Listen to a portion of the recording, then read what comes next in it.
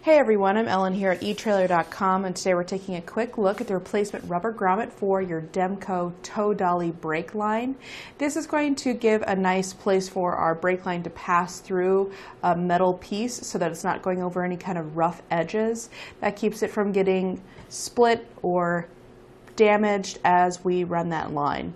This is going to have a 5 8 diameter so it should fit right in place. Has some give to it, so we should be able to squish it in there and get it put back in place easily. It's designed for use with our KarKaddy 3, part number DM9713046, the KarKaddy SS, which is part number DM9713045, and also for the KarKaddy X, which is part number DM9713093. If you need any other replacement parts for your Demco tow dolly, we do have a lot of components here at eTrailer.com, so definitely check them out if you need anything else. Thanks for watching, and we'll see you next time.